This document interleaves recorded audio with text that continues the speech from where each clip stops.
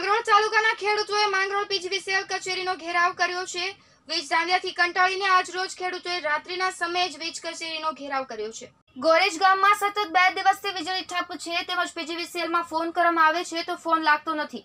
Phone લાગે તો વ્યવસ્થિત જવાબ મળતો નથી. માણસો નથી, ગાડી આવતી અથવા તો ઉડાવ જવાબ આપવામાં આવે છે. સાથે જ્યોતિગ્રામ યોજનાના પણ શોભાના ગાંઠિયા સમાન હોય તેવું લાગી રહ્યું છે. આ સિવાય વરસાદના બે છાંટા પડે તો જ વીજ પુરવઠો ઠપ્પ થઈ જાય છે. સતત લાઇટ ગુલ હોવાથી ગ્રામજનો અકળાયા હતા અને આઠ કલાક વીજળીની માંગ કરી હતી. સાથે રાત્રિના સમયે વીજ કચેરીનો ઘેરાવ કર્યો હતો.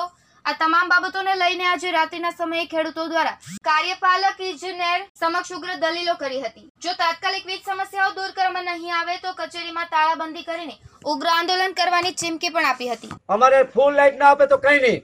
ડીમ પાવર પણ જોઈએ ભાઈ, અત્યારે મચ્છરોનો ઉપદ્રવ એટલો બધો છે ઘરની અંદર રહેવું કેમ શું કેમ રાત કેમ કાઢવી? આવા સંજોગોની અંદર આ લોકો ફોન ઉપાડે નહીં વાલી વિસ્તારની અંદર રહેવા માટે. અત્યારે હું તમને કહું ગ્રામ જ્યોતિની અંદર પાવર નથી આપતા.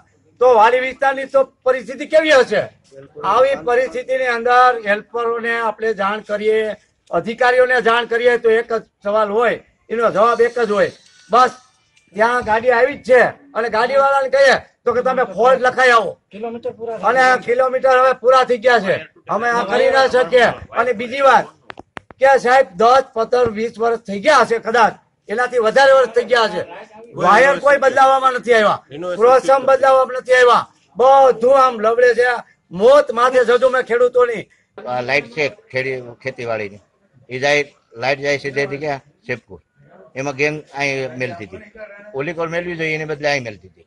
ત્યાં હતી, ત્યાંથી લઈને અહીં મેલતી હતી. ઓફિસના તો કોઈ હતું જ નહીં, કોઈ સાહેબ. જેનાથી ફોન કરી શકે, વાત કરી શકે, કોઈ સાહેબ જ નતું અને સાહેબ, અમે દેખું કે હવે એને ગોતવા ગયા તો તે નાસ્તો કરતા હતા, ભજીયા અને ખાતું નાસ્તો કરવામાં હતા. અમે એને મુલાકાત કીધી. એના બાદ અમે ત્યારબાદ સાહેબ સિંહ મળી મુલાકાત કીધી. સાહેબને અમે રજૂઆત કીધી કે સાહેબ, અમારે સેવા મીટર છે ગામના વિસ્તારો છે, એના અંદર લાઇટ માટે થોડી ફિકર કરે. અને લાઇટ ચોવીસ કલાક આવે. Wasim Khan, Belim, GTV news, Mangrol.